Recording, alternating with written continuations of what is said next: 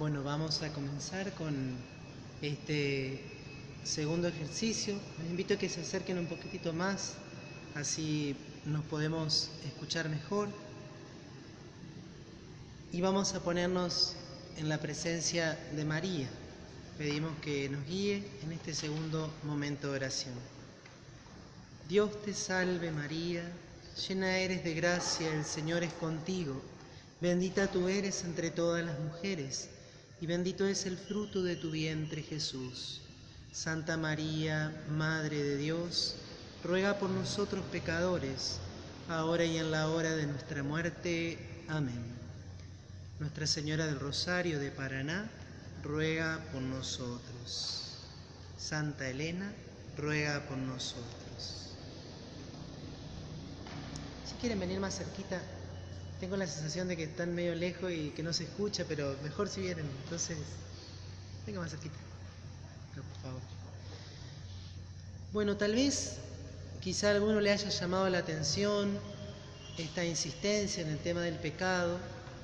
Y sin embargo, ya Pío XII y luego todos los papas que vinieron en adelante señalaban que uno de los graves problemas que vive nuestra sociedad es la pérdida del sentido del pecado, que puede tener como dos raíces y que nosotros también podríamos pensar, ¿no?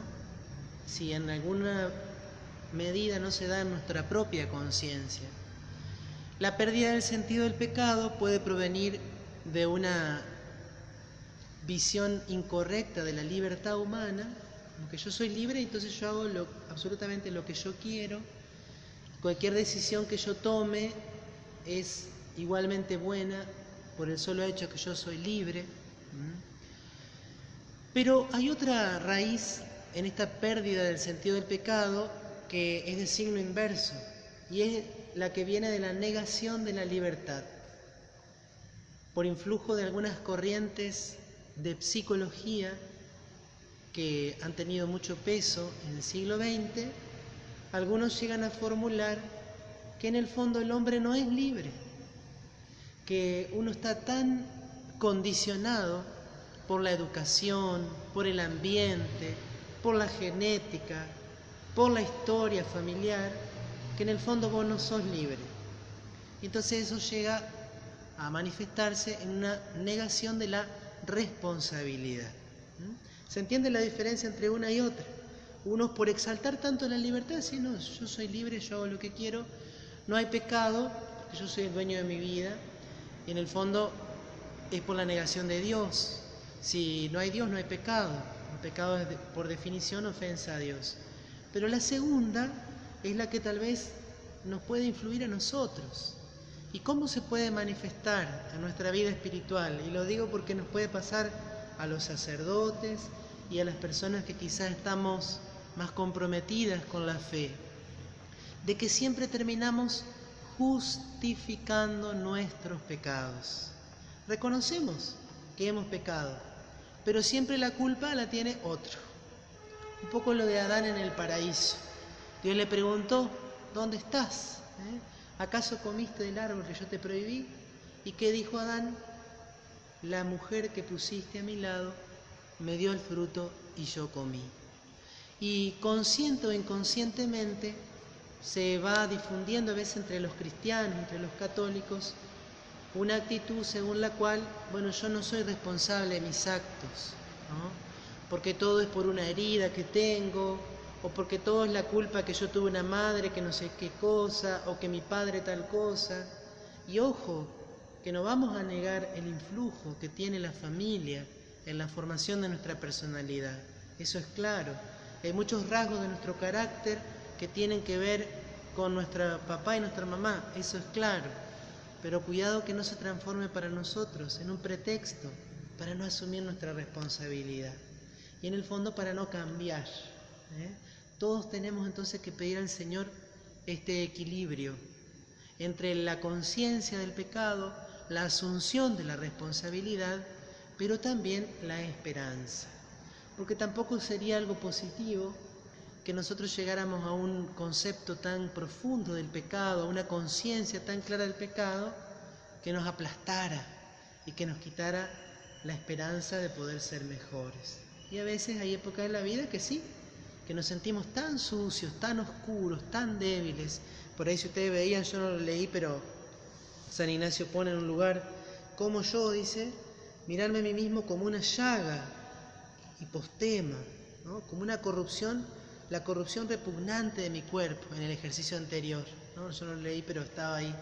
Entonces eso nos puede pasar también en algunos momentos de nuestra vida. Que nunca la conciencia de nuestro pecado nos robe la esperanza y nos robe la certeza del amor de Dios. Y antes de entrar en este segundo ejercicio, que es muy hermoso, también recordar la enseñanza de la iglesia. No es lo mismo tentación que pecado. Nosotros podemos llegar a estar a veces muy tentados, tentaciones fortísimas contra la fe, contra la caridad, contra la humildad, contra la pureza. Podemos llegar a tener tentaciones fortísimas. Pero si yo no consiento, si yo no acepto, si yo no elijo aquello que ofende a Dios, yo no cometo pecado. también porque algunas veces el demonio es muy vivo.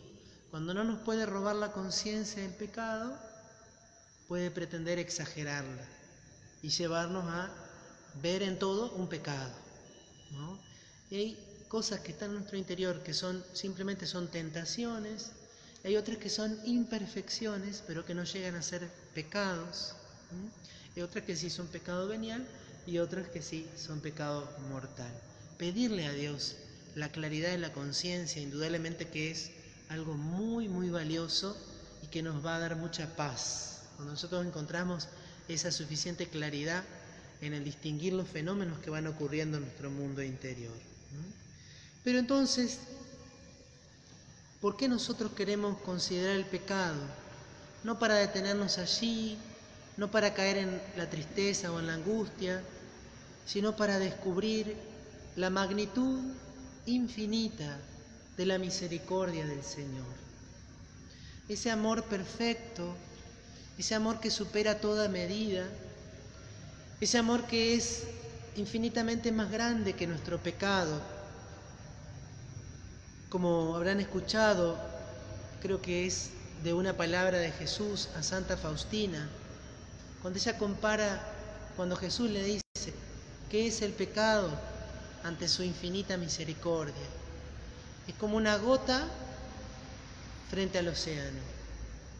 Así de grande es la distancia que hay entre el amor infinito de Dios e incluso, e incluso el más grave de nuestros pecados.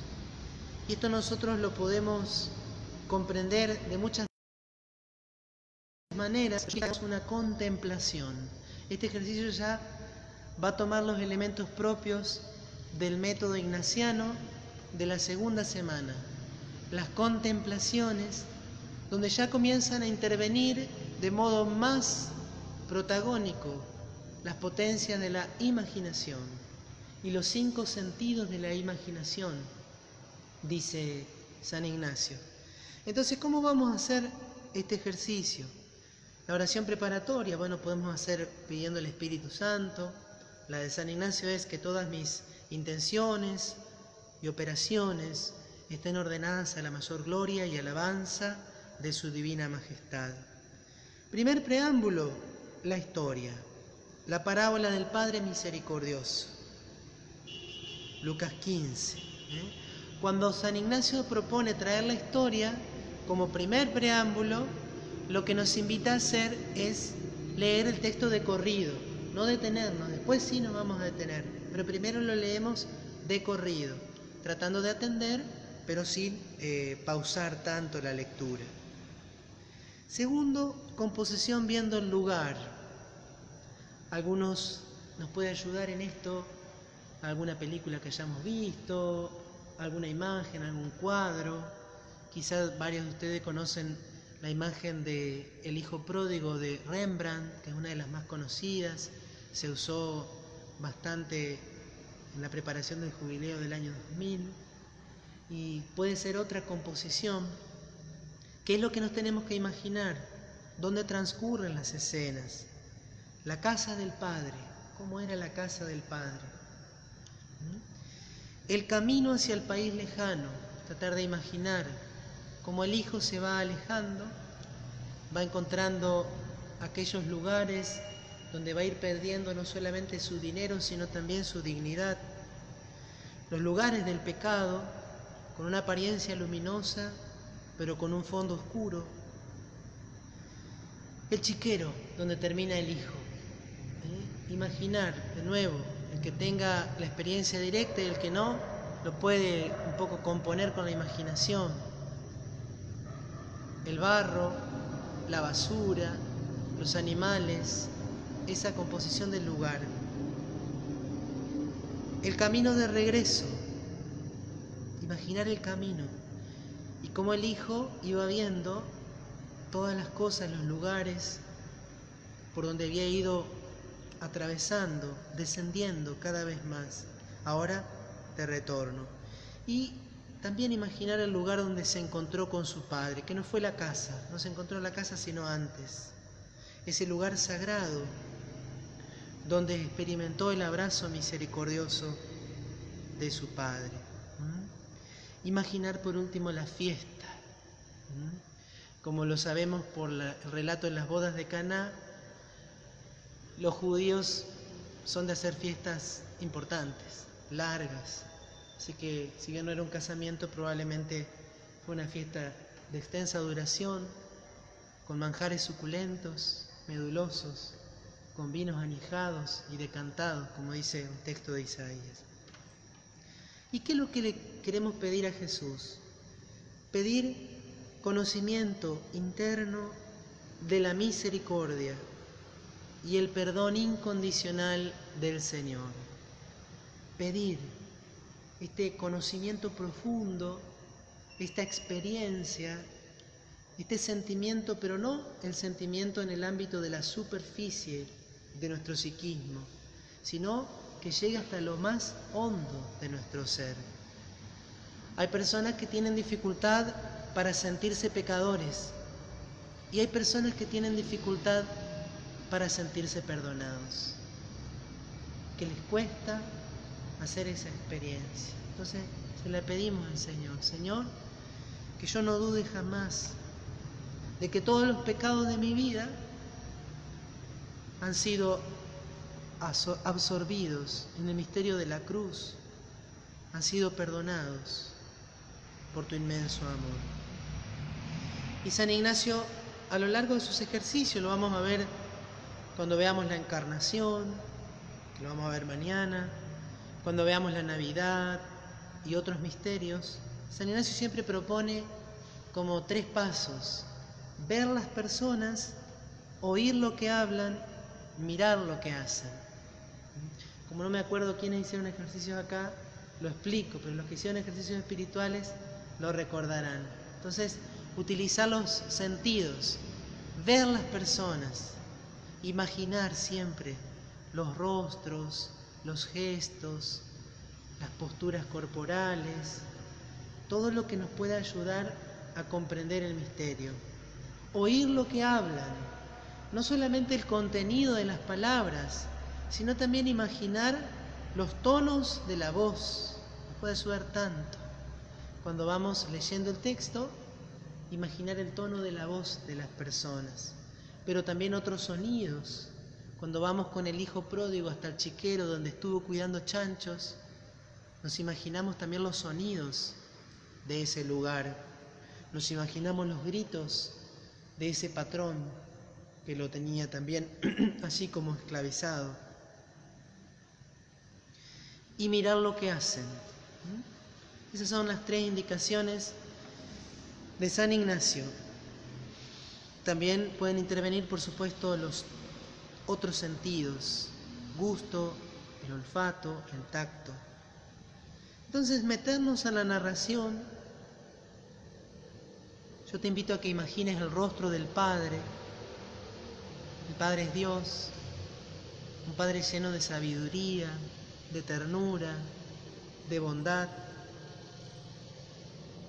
Imaginar la casa del Padre llena de luz, con comida abundante, un espacio de libertad, una vida de comunión. Imaginar los sentimientos del hijo y su engaño. ¿Por qué se fue de la casa? No lo dice el texto.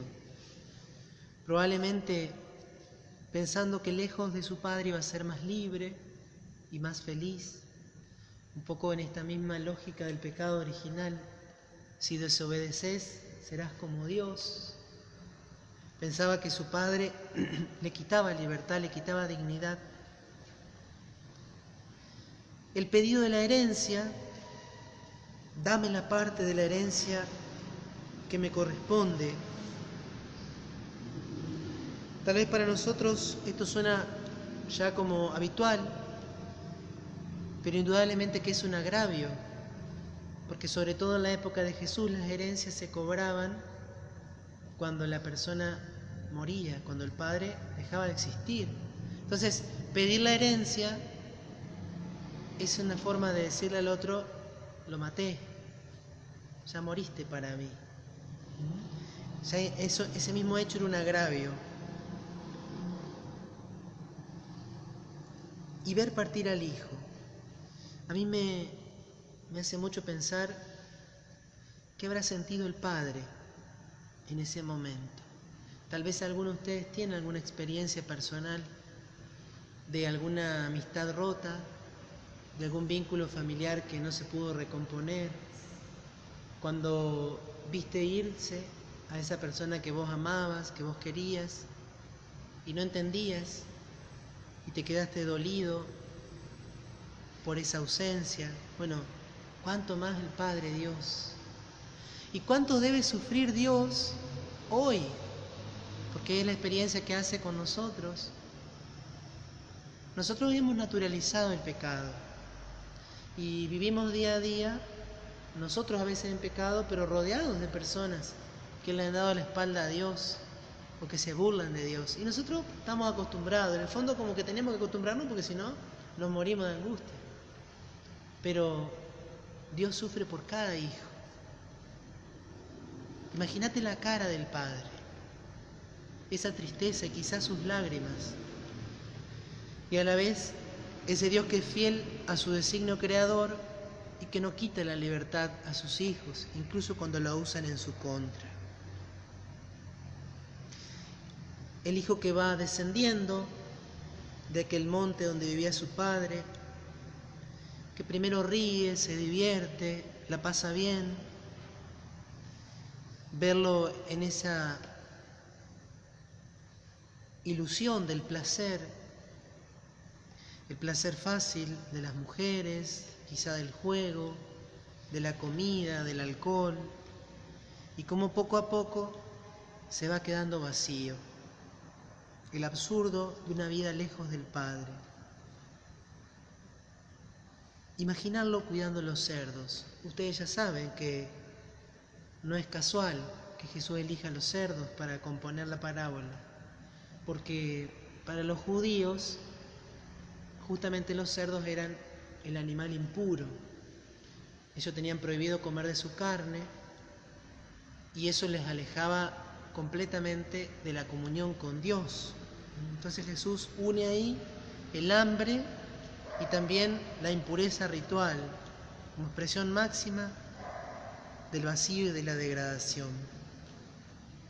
Y este hombre vacío allí toca fondo y entra en crisis y decide regresar. Su dolor primero es imperfecto, todavía no siente una contrición que esté basada en el amor en el fondo se siente un tonto y dice, qué tonto que fui. En la casa de mi padre hasta los peones tienen comida en abundancia. Pero su dolor es sincero y ensaya también un pedido de disculpas. Reconoce su pecado. Tal vez vos también tuviste un momento así en tu vida, un momento del cual te acordás, donde tocaste fondo, donde te diste cuenta que el pecado no te daba felicidad, te diste cuenta del error, de la confusión y comenzaste el camino de retorno. Y sabemos que no es fácil retornar. ¿Cuántas personas hay que se sienten mal en el pecado, pero no encuentran todavía la fuerza para volver? ¿Cómo tenemos que rezar también por esas personas? Porque a veces pueden dudar del perdón, porque a veces les retiene la inseguridad, el miedo de no poder cambiar. Y bueno, lo más hermoso indudablemente de la parábola es el momento del encuentro. Encuentro que Jesús describe de una manera que también para nosotros es ya normal, pero que reúne varios elementos. Dice que el Padre lo vio cuando todavía estaba lejos. A mí me encanta pensar que ese padre se pasaba el día entero en la puerta de la casa esperando al hijo. El día entero, mirando, mirando, mirando, esperando que retorne. ¿Mm? Nunca se olvidó del hijo, nunca dejó de pensar en él. Imagínate una persona que te peleaste con ella, te enemistaste y pasaste varios años sin verla. Y cuando un día decidís volver a su casa, te dice, no hubo un solo día en que yo no pensara en vos. Y bueno, y ese es el amor de Dios. Dios no deja de pensar en nosotros ni un instante, incluso cuando estamos en el pecado. Después dice Jesús, que se conmovió profundamente. A Dios no le da lo mismo que estemos cerca o que estemos lejos. A Dios le duelen nuestros pecados y lo conmueve nuestra conversión. Nosotros no creemos como los filósofos, no, no rendimos culto a un Dios que es como un motor inmóvil, así que está lejos, como decía Aristóteles, que está en su mundo, sino en un Dios que nos ama de verdad con un corazón que tiene entrañas de misericordia. Incluso dicen los biblistas que esta expresión en el, griego tiene como un matiz hasta maternal, Las entrañas es como el lugar de la madre, ¿no? el, seno materno, algo así. Entonces, tiene que ver con ese amor inmenso de Dios, lleno de ternura, que supera todo lo que podemos imaginar. Después el Padre corrió al encuentro del Hijo. Y esto también en el tiempo de Jesús, los hombres mayores, este, debía ser un hombre mayor, por lo menos si tomamos como parámetro la edad común de la época, no solían correr, era como algo indigno. Así como cuando Saqueo se sube al árbol, también los hombres no solían subirse al árbol, las personas importantes en el tiempo de Jesús no corrían, entonces, ¿qué quiere decir Jesús? Por un lado, el amor que es presuroso, diligente. Y por otro lado, que ese Dios no tiene vergüenza, no duda en rebajarse por amor a nosotros. En el fondo expresa la locura de la encarnación, cuando Dios enviara a su Hijo, que siendo igual a Dios, de condición divina, no hizo hablar de esa categoría de Dios. No abrazó y lo besó. Y ahí yo les aconsejo mucho en ese momento dos cosas. Lo primero, meterse bien en la escena. Nosotros somos el hijo menor. Y entonces, imaginarte el abrazo del Padre, pero no solamente imaginártelo como que lo estás viendo. Utilizar aquí los cinco sentidos de la imaginación, ¿para qué? Para sentir el abrazo del Padre. También nos puede ayudar, quizá tenemos la experiencia de nuestra familia, de algún amigo, esa gente que da abrazos por ahí un poco casi exagerados, ¿no? Bueno, yo me lo imagino el abrazo del padre así, un abrazo casi diríamos nosotros exagerado, exagerado en su fuerza, en su duración, y me hace mucho bien imaginarme las lágrimas del padre ese padre que lloraba de alegría y que besó abundantemente al hijo. También la traducción no es justa con el idioma original, porque dicen también los biblistas que la palabra usada allí es lo besó mucho o lo llenó de besos, lo cubrió de besos. Y acá no te olvides que el hijo menor no había pasado por una estación de servicio a pegarse una ducha, venía de chiquero Venía todo sucio, venía con un olor, seguramente venía vestido con andrajos y el Padre no le hace asco a nada. Ese es el amor de Dios y esa es la experiencia de la misericordia. Y metete ahí y déjate abrazar por el Padre y deja que sus lágrimas también toquen tu corazón, que sus besos curan tus heridas y tus llagas. El abrazo del Padre es un abrazo que sana y que recompone que devuelve la unidad y que devuelve la alegría. Y mm, también te invito a que en este momento tal vez te acuerdes de esa confesión que tal vez marcó para vos un antes y un después. Probablemente todos tenemos una que recordamos especialmente. Quizás fue en un momento muy oscuro de nuestra vida, quizás fue en un retiro donde por primera vez supimos, comprendimos lo que era el pecado. Y bueno, no te olvides de esa confesión. Volvé a ella, recordarla volvé a agradecer y quédate así fundido en ese abrazo de amor con el Padre. ¿no?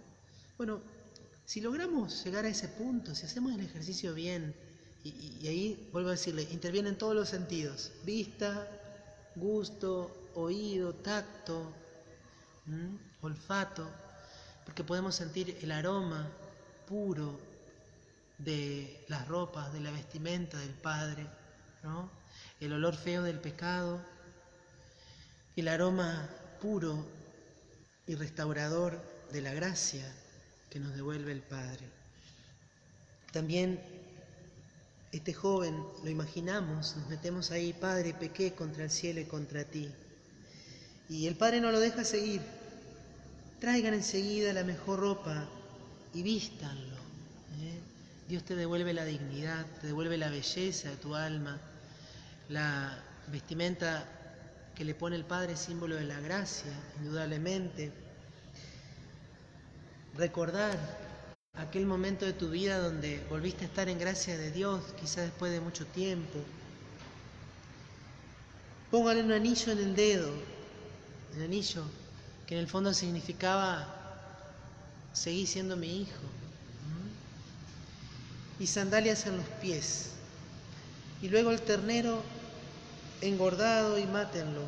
Traigan el ternero engordado y mátenlo. Comamos y festejemos. Este hijo estaba muerto y ha vuelto a la vida. Estaba, estaba perdido y ha sido encontrado. Imagínate la cara de Dios, la cara del Padre sonriente el Padre gozando, celebrando.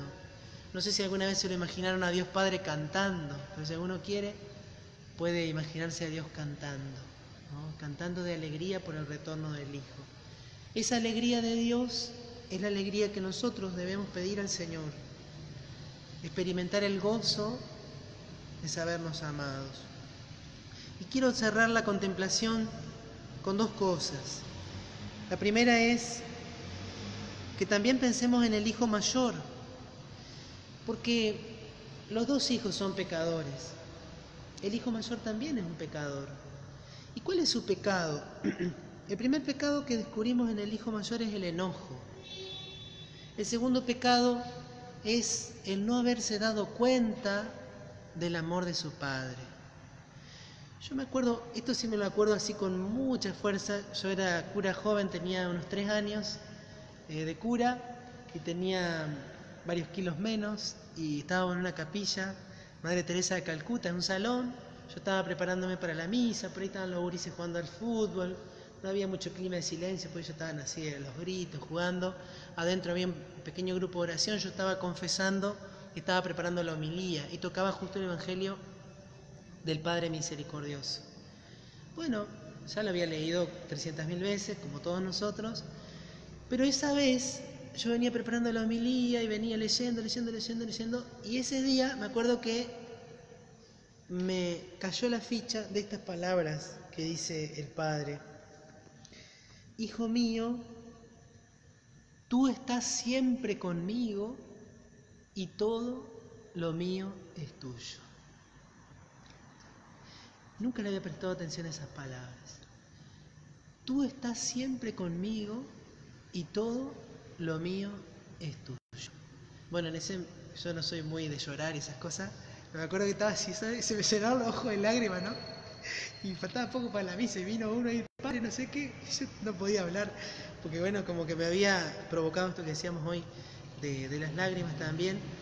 Pero en el fondo es eso. A veces nuestro gran pecado es no darnos cuenta de qué privilegiados que somos de ser hijos de Dios.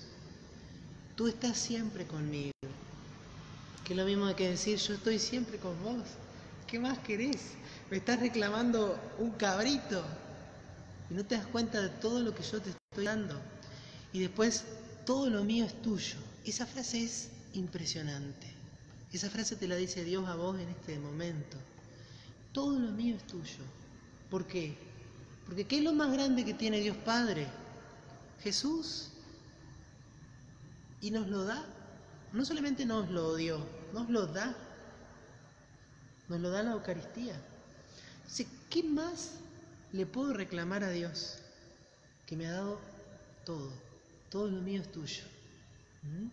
Y entonces, también acá, cuando pensamos en el Hijo Mayor, nos damos cuenta de que a veces nuestro pecado puede ser nuestros enojos o no vivir con alegría nuestra fe. Porque a veces somos buenas personas, y somos justos y somos obedientes, pero a veces no testimoniamos la alegría de la fe. Y la persona que nos ven ...dice, che, pero este está en la iglesia, pero yo no lo veo muy contento, muy feliz. Y no es que tengamos que andar forzando la sonrisa como si trabajáramos en un negocio que nos dice el patrón, che, tenés que sonreír porque si no es para los clientes. Es que en el fondo la alegría no nos brota naturalmente porque a veces no terminamos de darnos cuenta y de ser agradecidos. ¿Cómo no nos va a bastar como antídoto para todas nuestras tristezas saber todo lo mío es tuyo? Todo lo mío es tuyo. Eso nos dice Dios hoy también a cada, uno de nosotros. Y lo segundo del Hijo Mayor es que a veces somos demasiado duros con nuestros hermanos. Esto lo digo porque, bueno, me ha tocado estar este año también con el tema del aborto y de la ideología de género y tantos temas más. Y ha sido un año duro, de muchos debates, de muchas discusiones. Y yo me daba cuenta cómo a mí, y también me daba cuenta cómo a muchos cristianos, nos cuesta amar. Nos cuesta amar a nuestros enemigos. Nos cuesta amar, por ejemplo, a las personas que están a favor del aborto. Y a veces somos implacables con las personas. Nos cuesta amar a las personas que están, vamos a decirlo así, en la vereda enfrente a nivel de las ideas. Y yo no digo que sea fácil ni que yo lo haga, porque muchas veces me enojo y me da bronca, incluso quizás en algún momento hasta hay sentimientos de odio en mi corazón. Pero yo creo que este hijo mayor también nos tiene que ayudar a pensar cuál es nuestra actitud de misericordia o de juicio. Porque una cosa es rechazar el pecado y una muy distinta, y es lo que nos pide el Señor, es que tenemos que amar al pecador. Y tenemos que amar a aquel que no nos ama. Y tenemos que amar al que nos critica, al que se burla, al que nos ridiculiza, y lo tenemos que querer. Bueno, bastante difícil, ¿no? Pero la fuente de ese amor, de misericordia hacia el prójimo, es justamente la experiencia de la misericordia que yo he recibido como yo me sé hijo menor, no quiero transformarme en hijo mayor. Y como yo me sé un privilegiado, ¿cuántas personas que están hoy con los pañuelos verdes, o que están promoviendo la muerte, o los errores, o tantas cosas malas, en el fondo nunca nadie les habló del amor de Dios? ¿O tuvieron una experiencia de vida dolorosa? ¿Cuántas personas hoy que promueven el odio hoy chicos, chicas, jóvenes a veces, y uno dice, ¿cuánto vacío hay en sus corazones? Quizá no han tenido un buen padre, una buena madre, no han tenido una experiencia de iglesia. Entonces, ¿cómo no vamos a tratar de tener una mirada misericordiosa? No digo que sea fácil, pero pidámoselo al Señor, porque si no también nosotros nos estamos alejando del Padre, ¿eh? nos estamos transformando en hijos mayores y nos quedamos afuera de la fiesta y no disfrutamos de sus dones. Para cerrar entonces yo le aconsejo que tomen el Salmo 103. Es un salmo no tan conocido y yo les puedo asegurar que es el texto de toda la Biblia que más habla de la misericordia de Dios, sobre todo de Dios como Padre, incluso más que los textos del Nuevo Testamento. Esto es llamativo, ¿no? Porque a veces nosotros tenemos una idea como que el Antiguo Testamento Dios era justo y en el Nuevo Testamento se reveló como misericordioso. Bueno, el Salmo 103 es insuperable a mi juicio, ¿no? Y lo vamos a rezar, lo voy a rezar en voz alta como oración de conclusión de estos puntos. Como siempre, la iglesia queda abierta, el Santísimo está abierto. El que quiere quedarse a hacer el ejercicio acá se puede quedar, el que quiere irse a su casa hacerlo a la noche o hacerlo a la madrugada o mañana a la mañana también lo puede hacer. Bendice al Señor, alma mía, y que todo mi ser bendiga a su santo nombre. Bendice al Señor, alma mía, y nunca olvides sus beneficios. Él perdona todas tus culpas y cura todas tus dolencias. Rescata tu vida del sepulcro, te corona de amor y de ternura. Él colma tu vida de bienes y tu juventud se renueva como el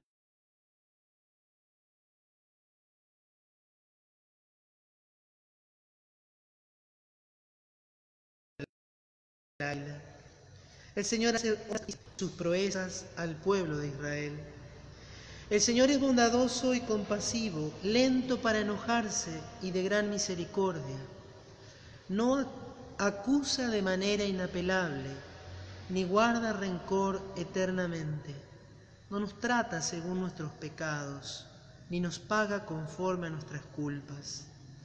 Cuanto se alza el cielo sobre la tierra, Así de inmenso es su amor por los que lo temen. Cuanto dista el oriente del occidente, así aparta de nosotros nuestros pecados. Como un padre cariñoso con sus hijos, así es cariñoso el Señor con sus fieles. Él conoce de qué estamos hechos, sabe muy bien que no somos más que polvo. Los días del hombre son como la hierba, él florece como las flores del campo, las rosa el viento y ya no existen más, ni el sitio donde estaban las verá otra vez. Pero el amor del Señor permanece para siempre, y su justicia llega hasta los hijos y los nietos, de los que lo temen y observan su alianza, de los que recuerdan sus preceptos y los cumplen. Gloria al Padre, y al Hijo, y al Espíritu Santo, como era en el principio, ahora y siempre, por los siglos de los siglos. Amén. Ave María Purísima, sin pecado concebida. En el nombre del Padre, del Hijo, del Espíritu Santo. Amén.